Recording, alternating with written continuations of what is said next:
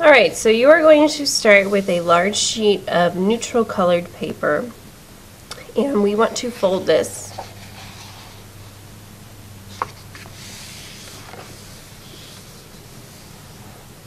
So now it kind of looks like a book. And you want to take a pencil and you're going to draw just half of the African style mask that you created. So you can use the images that we've looked at. Um, I'm looking at images off my iPad. I will put images up on the smartboard. And you want to find the shape of a mask that you like, that you would like to recreate. Um, so you want to think about, do you want to keep it sleek and simple, or do you want it to be a little crazy? I'm going to keep mine fairly simple and I'm going to make the kind that kind of has the big top and then it comes real skinny there at the bottom. So what I want you guys to notice, I know it's hard to see on the dark paper, but I started way at the top and I went all the way to the bottom. I did not create just an itsy bitsy tiny mask like that. Now this is only half of my mask. We're going to cut on a fold to create the full mask. So make sure you come out at least a decent amount so you don't have a really, really narrow mask. And you want to cut this out. So here's my fold. I don't open it up. I cut while it is folded. And this creates symmetry, the same on both sides.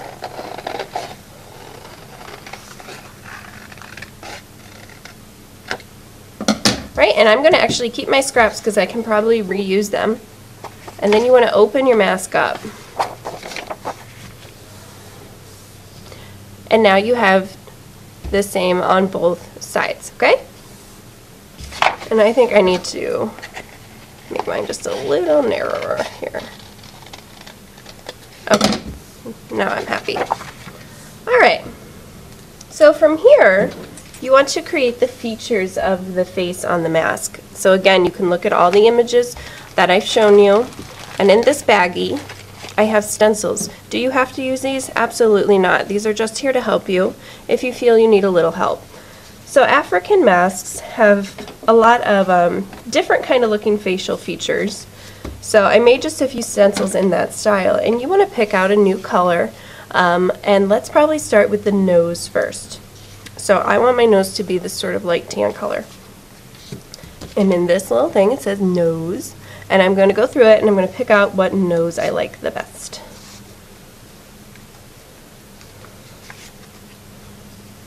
And all I'm going to do is trace it. And again, you do not have to use a stencil. If you just want to free draw it onto this paper, you can. But if you're free drawing, you have to make sure it's a good size. Not too big, not too small, that it'll fit on the mask you're creating.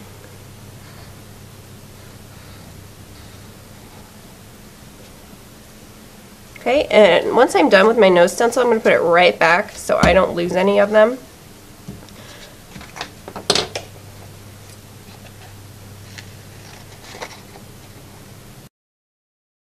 I'm just keeping all my scraps because I'm not sure if I need to use them or not. So I'm just going to set this to the side.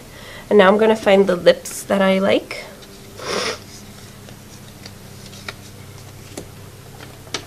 And decide what color you want the lips. Let's see here. Yeah. I think I'll do this brown for the lips. And you know what? This paper is too big, so I'm just going to cut it. And then maybe somebody else can use this piece later. I just really need this much.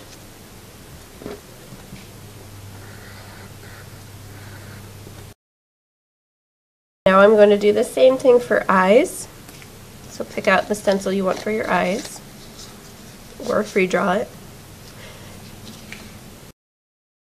For the eyes, what I've done is I've traced it onto one little piece of paper and I actually cut another one of the same size to go underneath it.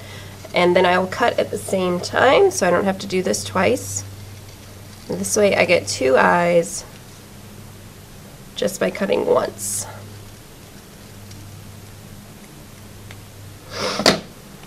Voila. That way they're the same size. Okay. So now I could glue this down like this.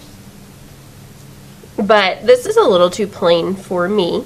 So what I'm going to do, I'm actually going to take some brown paper and I'm going to glue my eyes onto this paper. Or at least one eye. I'm going to glue one eye onto this paper. And I'm just using dots, not lots. And then what I'm going to do, now this is where it gets a little tricky. Now I'm going to free draw around this eye. And I'm just following the same shape of the eye drawing lightly. And then I'm going to get another sheet of paper, same color, and I'm going to put it underneath. And I'm going to cut it out.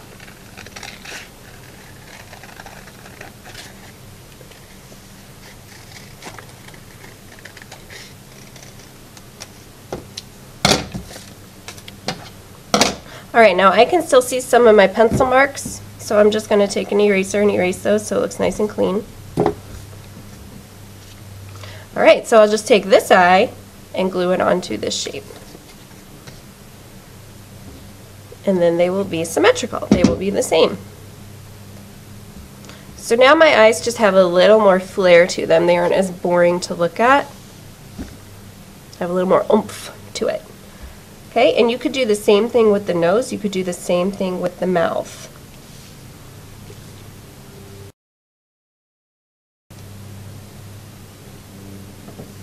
Okay, once I've made all my features and I want to glue them down and kind of start, you know, being aware of your space. If there's anything super tiny, go ahead and recycle it. But anything big, you might be able to reuse. So now comes the part where you can add a little bit um, of creativity to your piece and you don't really have to use stencils. So if you want to add designs anywhere. You can do this with paper. So maybe you want to add something up on top. Maybe you don't. It's up to you.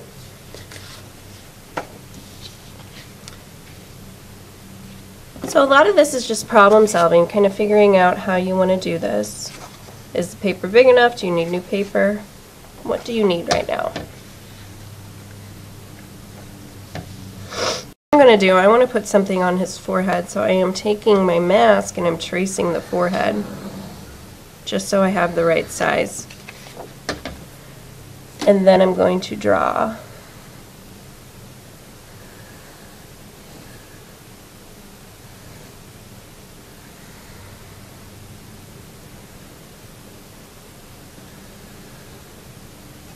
And all I'm going to cut out is that little part.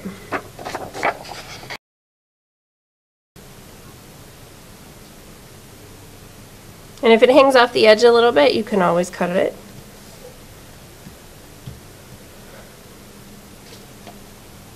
So now you can go through your scraps.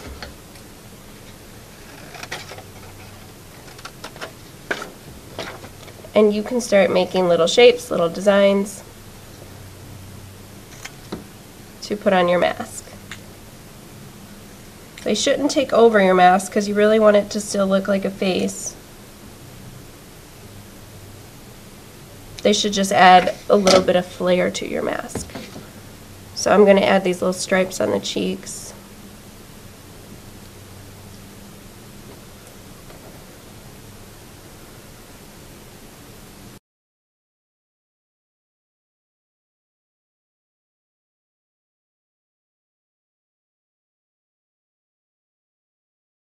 Okay, so here is my mask. I think I'm done with the all the cutting and gluing of the paper, the collage portion of it.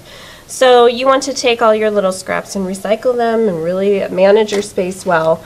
Um, any pieces like this that you've cut out, if you could, just kind of cut them into tiny shapes and we'll keep the scrap paper because it, we know we worked very small on this assignment, so we just need little bits of paper um, for future classes when they want to do this assignment. They just need little bits. We don't need big sheets of paper. So we'll keep this and reuse it um, when another class does this assignment.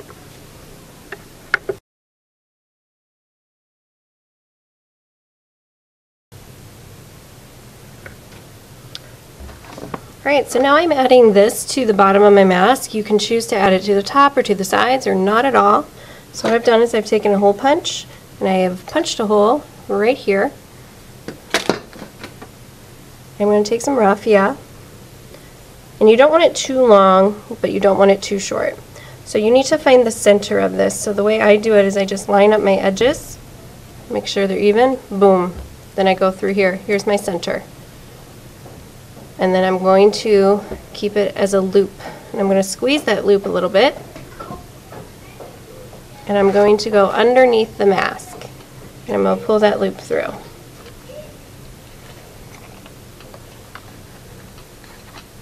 Then I'm going to open this loop up and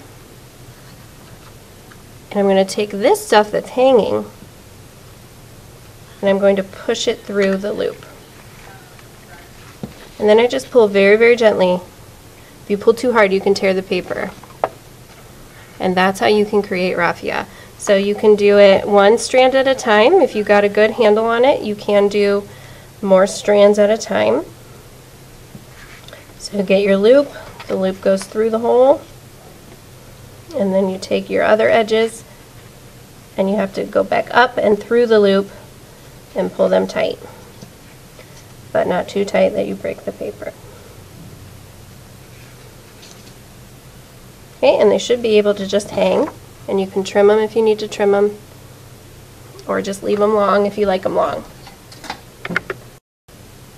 Okay, the next step, you're going to get a sheet of paper, and you want it to be a different color than your mask. So my mask is a gray, like the main part, so I'm picking a black. Please put your name on the back and your code. Flip it over. And then get your mask, flip it over, and you want to put a frame of glue on your mask.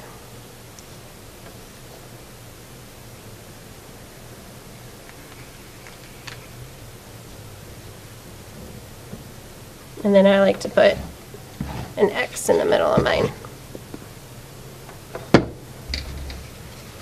You want to lay your mask in the center of the paper. Not too high, not too low. Same on either side.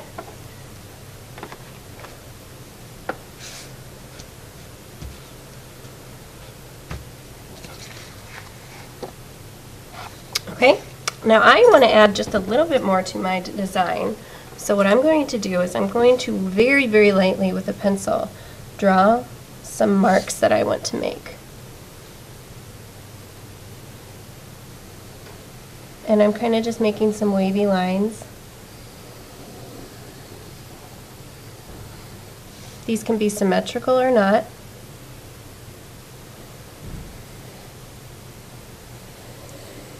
And you can probably barely see them on the screen because I'm drawing so light.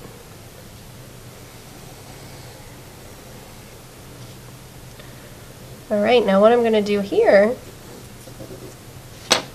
you have two choices here. You can either get some paint and a Q-tip, dip your Q-tip in the paint, and paint on top of your lines. Or you can play with a new material. And I got a bunch of beans and you can put dot down and use beans.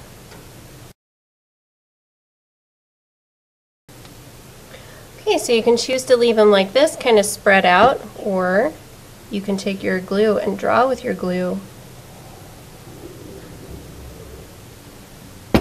and put them close together.